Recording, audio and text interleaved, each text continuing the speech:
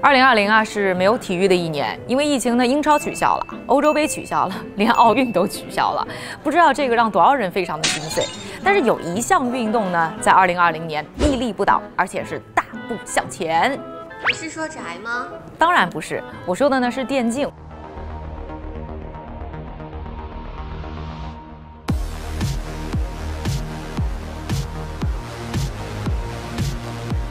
而作为一个自己啊，我完全不会玩游戏的选手呢，就是各种各样的新闻热搜都让我会觉得电竞真的太火了。这样呢，我就非常的好奇，这到底是一门怎么样的生意呢？而当我看到呢 Newzone 的这份二零二零年全球电竞市场行业报告的时候啊，我真的只想呵呵了。这份报告呢，预测二零二零年。虽然呢，全球电竞产业的规模呢会有百分之十五点七的高速增长，但就是这样啊，全年整个产业的收益才只有十一亿美元。十一亿拿到了很多呀！你知道十一亿美元是个啥概念吗？这个呢还不到整个游戏产业的百分之一，甚至都低于呢美国每年职业橄榄球超级碗一场比赛赌球数额的六分之一，也不过就是一部呢变形金刚电影的票房而已。所以这么小的盘子，它真的值得关注吗？嗯。哎，但是同时呢，我又发现，像乔丹、贝克汉姆这样的超级懂体育又超级会做生意的大佬呢，也开始投资电竞。他们到底看中这电竞当中什么样的机会呢？是不是它真的就是潜力股呢？于是呢，我对电竞行业呢做了一些小小的调研。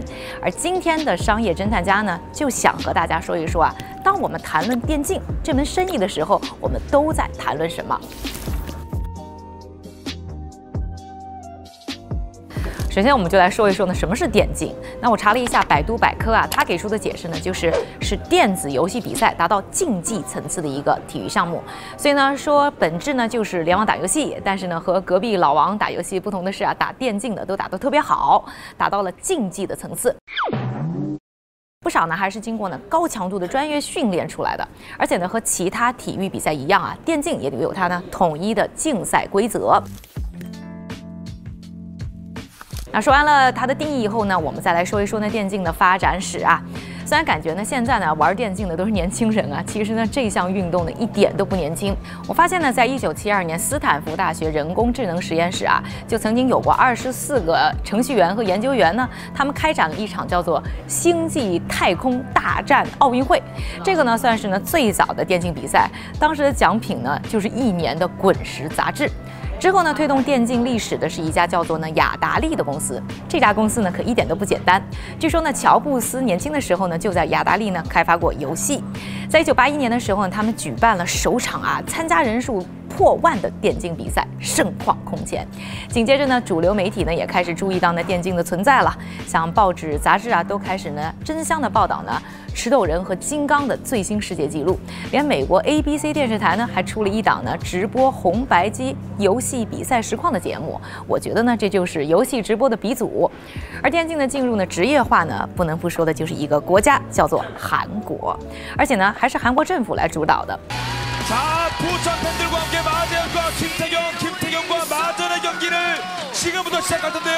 一九九八年啊，韩国当时是深陷呢亚洲金融危机，很多人呢失业了，于是呢都跑到网吧。要说呢，当年这个韩国网速呢号称全球第一啊，是又快又便宜。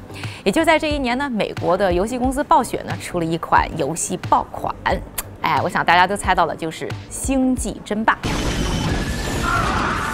于是呢，韩国网友呢就玩嗨了。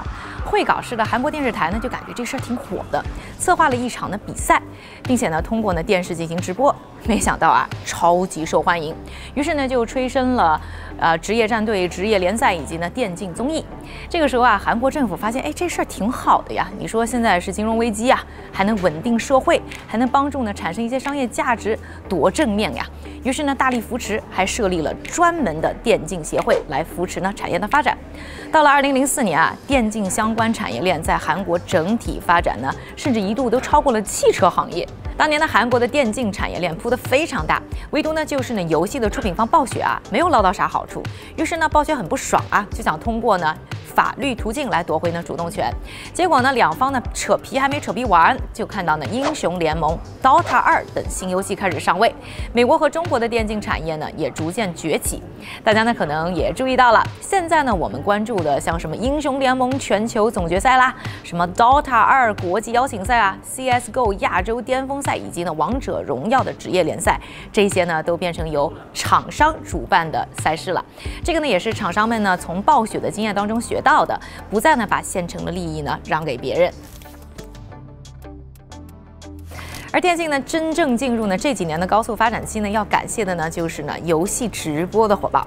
在二零一一年的时候呢，Justin.tv 呢分割出来了 Twitch，这个呢就成了首个专门的游戏直播平台。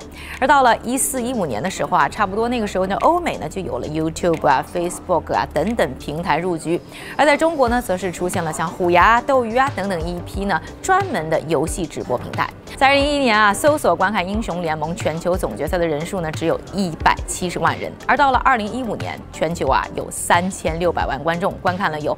大魔王称号的电竞选手 Faker 带队呢，赢得了英雄联盟世界大赛冠军。SKT will be your first ever two-time world champions. 这个人数啊，超过了同一年收看 NBA 总决赛的两千三百万人。而突然啊，打游戏呢不再只是有趣的事情，而是变成可以赚钱的事儿。Faker 本人呢，当年因为辉煌的战绩呢，获得了超过百万美元的收入。这个啊，都还没算他在皮肤分成、广告代言、游戏直播等等渠道获得的隐性收入。而另一个电竞热门 Dota 赛事奖金的累积呢，更是已经高达呢两亿美元以上。在中国国内啊，玩的早的呢。就属呢王思聪，啊，现在呢全国范围内呢正在运营的电竞战队的数量已经超过了五千个，连周杰伦呢都有了自己的战队。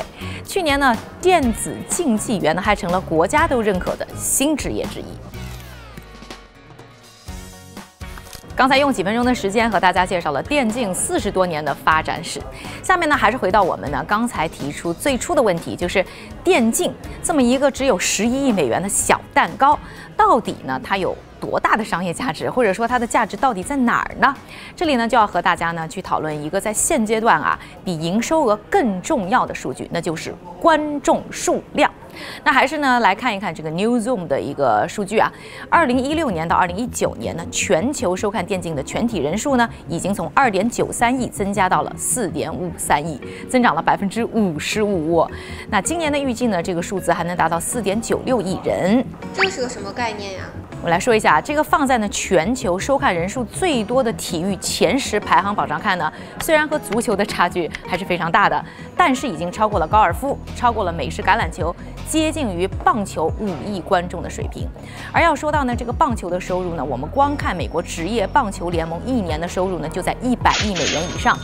听了这个数字，我觉得大家呢，大概也能感觉出电竞未来的潜力了。另外呢，就要说到就是电竞的观看人数不但多，而且年度高。刚才我们说到了，今年呢，观看的人数呢，大概有四点九六亿，这个当中啊。重度用户或者说说经常收看的人群的比例呢，高达百分之四十五，差不多呢就是两点二三亿人，这是相当可观的。因为呢年度高，那它带来的变现的可能就更大。那除了它这个年度高之外呢，这群人的商业价值非常高。还有一个证明点，就要说到这个足球，一个社区呢有一个足球呢，大家就可以踢起来了。而呢看足球，一个村子有一个电视呢也就够了，真的是非常的亲民。但是要说到这个电竞就不太一样了，基本上看电竞的人群自己呢也都是玩游戏的。那你玩游戏，你至少得有个电脑吧，再不行得有个智能手机吧，而且你这个配置还不能太烂吧，而且除了有硬件，你还得能上网吧。再穷你得有钱去网吧吧。所以说白了，没点钱你是进不了电竞圈的。所以整体电竞比赛的观看者和参与者的收入水平都相对比较的高。我们呢就看二零一八年的数据啊，重度的。电竞爱好者当中，有百分之四十三的家庭年收入是在七点五万美元，也就是差不多呢五十万人民币以上。而因为呢收入高呢，所以这个人群的商业价值呢就跟着会加分。所以我们看到呢，像什么 LV 啊等一些呢奢侈品牌都上杆子的和游戏圈拉近乎啊，什么设计虚拟皮肤啦，什么奖杯盒等等事情。另外外呢，电竞的观看者呢还有一个特征就是年轻。我呢下面说的几个数据呢是来自美国的，不过我觉得还是有一些代表性啊。平均呢，在美国呢看足球的观众的年龄呢是三十九岁，看篮球的观众的平均年年龄呢是四十二岁，而看橄榄球的呀平均年龄是五十岁。我们再来比较一下呢，电竞平均粉丝的年龄，这是全球的一个平均数据啊，是二十五岁，而且呢 百分之七十五的收看人群呢是在十八到三十四岁之间，正好是抓住了所谓的 Z 世代，就是呢九五后的群体。为什么年轻很重要呢？很重要啊！第一呢是年轻人更容易冲动消费，第二呢说的不好听啊，你这割韭菜，年轻人呢可以割的年数呢比较长一点嘛。而在呢深入了解了电竞观众的这些数据之后呢，我想呢这门生意的潜力已经在大家面前栩栩如生的展开。现在呢，我们再来说一下主要电竞的四个直接收入来源。首先呢，巨大的高质量人群将为广告商们提供的绝好的平台。除了呢传统赞助运动比赛的品牌的预算呢会慢慢向电竞倾斜，很多呢不太赞助比赛的品牌呢也会因为这个人群进入。那赞助和广告呢就是非常大的一部分。第二部分呢就是转播权，第三呢就是游戏商的版税，最后呢就是呢现场门票和周边产品的销售啦。所以呢，今天的十一亿美元，未来呢还有非常大的想象空间可以发挥。而今年呢，体育圈的所有势头啊，基本都被电竞抢走了。其他的运动当然也有危机感了，也开始呢考虑怎么样把自己电竞化。比如说赛车，今年 F1 呢在十月份呢就搞了一场的虚拟比赛，二十几个选手啊在家捣鼓那个发动机来操作，还进行了电视转播，貌似呢效果还非常好。而如果呢电竞真的就可以这么破圈儿，不光是未来电子游戏成为电竞的一部分，而是让电竞呢成为各种各样体育运动的一个新的存在形式，那势必会给电竞带来新一波的红利。那疫情过后，电竞还会不会火呀？我觉得呢，依然还是会火得下去。首先要说的就是呢，电竞啊，其实过去几年一直都是在增长的，所以今年的势头应该算是一个非常正常的水平。第二个呢，就说电竞呢，其实也是需要呢线下场景的。今年呢，因为疫情，其实虽然线上非常火，但是线下这种现场比赛的门票销售还是损失的不小。所以呢，电竞行业其实也希望呢线下能够恢复。第三呢，还要说到就是这个受众人群的问题啊。刚才我们说了。电竞的核心受众和其他运动非常不一样，所以呢，不会因为说其他运动重新恢复了就会有大的流失。那你觉得电竞这么好，你还不玩吗？我不会。